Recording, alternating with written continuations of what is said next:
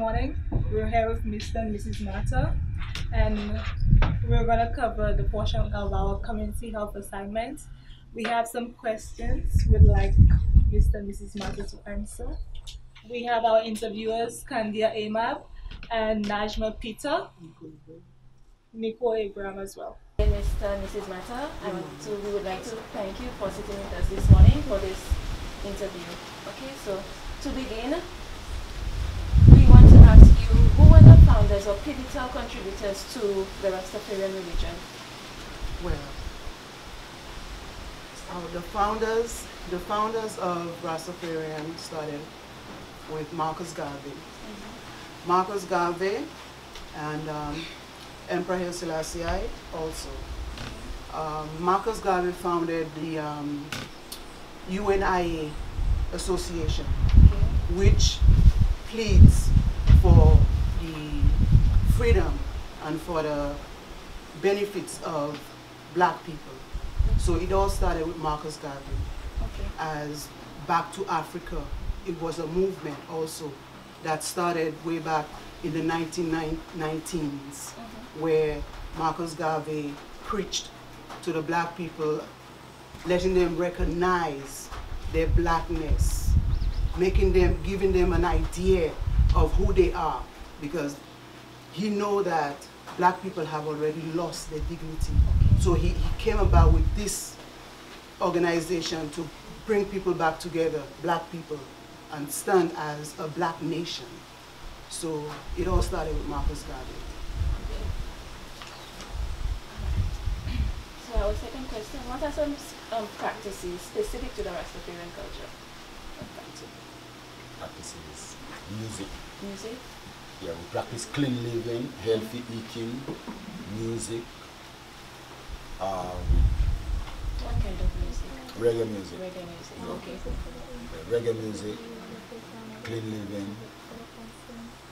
We respect we respect the earth. The like we are we are the husbandman, the, the, the Lord of the creation. We we come to keep the creation clean. Yes. So that is more And you'll write your own music?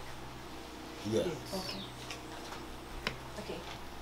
So explain the language process of Rastafarians and why the need to develop the unique language. Okay. The unique language will just be a one. That's what that's what everyone will have to come to without one mind. In order in order to have one language, you must have one mind, and one mind would would be Emperor Selassie is God Almighty, and everyone see that Emperor Selassie is God, and God say to us the Bible is right. And God said to us that's our only hope for salvation. So if all of us go to the Bible and all of us do what the Bible say, we all will speak one language and have one mind. Now we have patois in St. Lucia and patois is not being spoken just like see if you have to go to Martinique, the French is different. If you go to, to um, Haiti, the Creole is different, but yet still they call it patois. So the people was, was seven times British, seven times French. One time they were speaking, they were saying Laos, and the next time was the the the red. So it was like the language they grew up as a broken language people also. Now when it comes to Farai, then we feel that there is certain words we call Mormon words. Mormon words means they tell you under, understand, under. So we say, so why you why tell us under, we can't tell us over. You know what I mean? So we feel well, we overs now, you know what I mean? So uh, we start. That's the matter of we- being you get it. conscious. Now, Okay. I'm a, some man don't want to say beautiful because you say what is beautiful. You see, you either say itiful, you know, and or I and I. The I and I, it comes to reality as one God. Okay. If I have God in me, you have God in you, she have God, she have God, and God is one. So I say I and I and I and I and I. When we say I and I, we refer to as the children of Israel, the conscious, the conscious Rastas, the, the Rastas that the Almighty walketh in. The mighty Almighty say, I will dwell in temples made without hand, and I will walk in them and talk in them. So if the Almighty is in this temple, and the Almighty is in this temple, and the Almighty is in this temple, so we say I, and I, and I, and I, As one. as one. One God. I and I. So in terms of healing practices, how do you deal with certain pains such as headaches and um, joint pains? What do you use? Just, just the natural remedy. Such as? Um, well, we have the Panadol tree.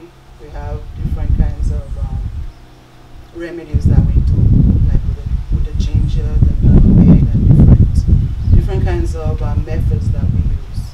Yeah, we use different things like so we use different things, but ganja is the best thing. so for pain or for or for sickness, you use ganja. But sometimes when you have the good breed ganja, then and then man pass and then they rob it from you or you burn it up instead. So it's like they take away your medicine from you because and it's, and it's a Yes, serious it's a thing. It's serious being, thing. I mean right now the, the bigger heads know it's, it, it is real now and they know it is medicine and they know it's curing cancer, they know it's good now. They want to have it and they want to rob it from us that, that fight to keep it there. And they know that is the number one painkiller. Yes. And we are millions of people all over the world that testifying that this is the number one painkiller. And St. Lucia also know it. But you know, the rather we talk about the basilic, and the rather we talk about the, the Thai and they talk about ganja, because we talk about ganja, they feel then we make our speech too, I don't know what it is, but they know. So therefore, if then we, we, we talk about pain and everything, so who doesn't have pain in this time we are living? Who doesn't have? You think Rastas don't have pain? Who, who bet you believe Rastas don't have pain? We are the one that have suffered more in the ghetto. We are the one that is deprived. We was deprived. Remember that we was the one who did fight. We were supposed to look for those things for us to survive, or else we would have died because they say, let's take it from them, let's keep them from it, so they could die. So we are surviving off those things that we have to fight for our life. It's like I need the ganja, I have to fight to put, you know, I, I, for it to keep me alive, but I know the Babylon, that don't kill me for my sin, for my medicine. Mm-hmm. And the world know about the medicinal pro- um, properties of marijuana. Mm-hmm. So marijuana is supposed to be a, a worldwide herb that should be used. Everyone should use it. Only because they're making the millions now, they're starting to say good, right? Mm-hmm. Right? They was hiding that. When from St. Lucia us. start making the millions, they also say good. But there's a problem because the churches doesn't want, the churches has always been fighting Rastas. The churches. Alright. Okay, and do you think that the medicinal remedies used are sufficient for your family's maintenance? No, no, No? no, no. It's not enough. Okay, It's not enough. You cannot get it when you want. How could it be enough and you can get it when you want? Hmm? Even though you have it there, you put it there, you could pass and take it. You know? So you can get it when you want. So it's not enough. Enough is we're supposed to have our full right, legalize it, our full right as far right, for us to use it for our medical purposes, our recreational purposes, whatever purposes that we use it for, then we will say, yeah, well, we get it. You see? But we can't say we get enough. You get it? Because you don't give us, you don't, you don't We don't have our liberty to use it like we're supposed to. Mm. Good morning again. What does the Rastafarian religion believe in and how do you connect? The, the Rast- Rastafarian, Rastafarian religion. Rastafarian don't have religion. Rastafarian, there's no Rastafarian don't have no religion. We don't have religion. Rastafari is a concept which bring forth righteousness. An inborn concept. A man born with righteousness to do righteousness. You see? And a man will come there to do righteousness. Because he born to do righteousness. The righteousness born in him. He come to do what is right. So so they don't have a that's what a religion. Religion is where man set laws. Where man set the rules. Where man say you do this and you do that. All religion. This, this same days all of them. The, the religion people that set the laws and they live by that. And or it just to rob the people with the tithes and the offerings. That's all it does. So they, they indoctrinate the people of Jesus Christ. Yeah. And they have the people under that mental situation where they're going up in the sky. Yeah, it's not all about that. So so that's that, that's on that side. Okay. What are some of the events as Rastafarian do you practice, observe, or celebrate? As Rastafari. Yeah. We we work six days and we rest one day. Alright? Now, um, I don't really believe in demonstrating or going and going and rally for, for say um, holidays, you know what I mean? Like Marcus Garvey Day or or Empress Selassie I did them days. I, you know, people go, they rally, they work, but I say don't really believe in this. I more believe that people should listen to the man and do what the man asks them to do instead of doing anything they want and then just come on that day and show they come in and just like a Jesus Christ thing, you know, they eat swine every day and then they come, to, you know, one day and come to church. You see, so we know that, right? So I, I think that we should practice righteousness every day. Every day we should live in a, in a righteous way every day, not one day. You know, we should love our fellow men, love our people. We, we, that's what we should do. Every day try to see that we do better. We do good every day. You know what I mean? And just living good every day, it, you, that means that we practice everything that comes with good every day. You see? What are your beliefs or practices in terms of diet and nutrition, and what is the basic for your nutri you, nutritional behaviors? Good food. Good food is the pri the basic necessary that we need. Good food. Not GMO, not um, any artificial things. So the basic is once the food is good, it is from the ground, it is from the earth, that the naturalness of it will keep us healthy. But Okay. Put ladder facing that. You see, we need a lot of fruits. We need a lot of fruits. If I look at St. Lucia, St. Lucia don't have fruit and St. Lucia used to have a lot of fruits. St. Lucia used to have tons, hundreds of tons of things like grapefruit, oranges and them thing.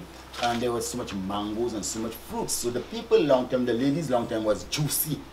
More juicy. You know what I mean? Serious, because they had all that juice, and that juice was is our our our medicine. You see, the real medicine we need is those juice from the trees. But we find now, because of the banana system we had in Saint Lucia, and because of the chemical that they was put in, they kill a lot of the trees, mm-hmm. and th- them trees die. And the fruits now they importing or whatever, I don't think it can do what it does. So we find the people more and more now they die now. See, we don't have food. because it's the natural juice from the trees that keeps us healthy. So Now, when you go on drinking juicy, you're just drinking sugar and artificial color. yes. So, our urge is to let the people, tell the people to plant. Don't don't just depend on the supermarket. Things that come out of of the supermarket. Better you look for a piece of land or something, and plant some food for you to eat, so you could sustain yourself Okay. instead of depending on imports and other countries to feed us. Whereas we have land that if everyone had planted something, the amount we would have. So, good food, you know, our but in practice. spite, but in spite food. of we know the knowledge and we know that that's what we need, we are running out of it. Right now we are running out of it. I need it now. It's running out. It's dying out. All the grapefruit trees dying. All the citrus trees they die. So we're running out of it, and it's going to get worse still. You see, so you see, when we far right chanting repatriation and Rastafari, it's because this place is dying, and we want we to want to, yeah, we want to go to Africa. We want to go where we belong. to come out from Because this the place. things that the question you asked there, yes, we give you the answer, but we doesn't have the thing here itself. We know the we know the truth. We know we need juice, but we don't have the juice. So it's a struggle. Okay. It's a struggle. And could you share with us what do you grow, what you grow here? But I grew. I grew a lot of things. Yeah, man, vegetables, because, tomatoes, lettuce, you know, cucumbers. A lot of things. man. You know, I used to grow yellow yam in the beginning. I used to have thousands of yellow yam. I used to farm yellow yam. Mm-hmm. I, wa- I used to farm, uh, I even had bees, and I mean, the hurricane mash up these things, hurricane mash up all my planting. I had, I had like 5,000 tree of planting that fall, and I don't get a penny from no government, nothing when you see it fall, so because we're not in government. So I lose a lot all the time. I lose, I lose, I lose, I lose. I used to have a lot of pineapple here. There was certain mite that come and kill the pineapple. So I used to farm a, I farm a lot of things because right now I'm looking for repatriation and I want to go to Africa as a farmer with the knowledge I have. So I could go where I could feed, you know. So we farm a, a variety of items. Okay. You just name it because that's what I've been doing for 50 years, something. Yes, Yes. non-stop, every year. Practices has, has evolved, uh, Rastas in St. Lucia. Well, as for St. Lucia, Mm-hmm. not as much. Not as much because when if you have to travel and go to South Africa, they have a, a vast amount of rastas than they have here. So it's like they don't really in St. Lucia accept the culture as they was they supposed to. They, Because they are divided. Like they, they are divided. We have the Bobo Shanti, we have the Nyabingi, we have 12 tribes. I think, uh, what, what other name again we have again? How many names, right? Orthodox, Orthodox, and, yeah. and so and so. whereas all supposed to be one. and it's coming like almost like religion, the Baptist, the Bethel, yeah. the and it's not, there's no division in Rastafari. So one Rastafari, one His Majesty, one His Majesty, His Majesty Emperor Selassie of Ethiopia, who sat on the throne as Jesus Christ in his kingly character. So we, we, we would look at him as God in man on earth. And he sit on his father's throne, David throne, he sit there. So he said, the scripture said, and a virgin will bring forth a child, and they'll call his name Jesus, and he'll sit on his father's throne, David. So who sit on the father's throne? Emperor Selassie. So then who is Jesus? So we see that Farai said so, and then they can change Farai from seeing it the way it is. Say that because that's how we see it. And all it means it so. I see so. We see, I mean, we have, we have, we have thousands of people, and white people is seeing it now and bowing down to the black king. Why would they take a little black king? Why would a little black man come? A little black man come and he could go on the world and have all these queen, kings, all them bowing to one little black man. Why they bowing to this little black man? God Almighty day. Why did they bow to this little black man? And, and why did they give him the, the title King of Kings, Lord of Lords, Conquering Lion of the tribe of Judah? Why did the Seventh Nation bow to him? Jesus Christ in his kingly character. So that's how we worship him. Now the people that tell us they worshiping Jesus and they're not worshiping Emperor Selassie, eh, they worshiping an idol the white man gave them to deceive them from the true Jesus. So that that that that idol want to take them to heaven. So we know you believe in healthy living. What is your perspective on exercise as an ev- everyday healthcare routine? exercise. You see, after after okay, I grew up in the gym, right? Mm-hmm. I used to do martial art for 14 years. So I grew up. I used to teach martial art, right? So yoga, I used to do yoga. I used to pra- practice Zen meditations and them things. So I was into that exercise field, right? And then right now, every day is an exercise for me. You know, you see when you Every wake up every day and you have to do Work. the when you don't have the machines that is do it for you, you have washing machine. okay, so that means that you doesn't do the work, right? You're so we so we exercise in that. Okay, now some people that doesn't do the work, they need some them thing how you call this um to go to the gym and yeah, the gym.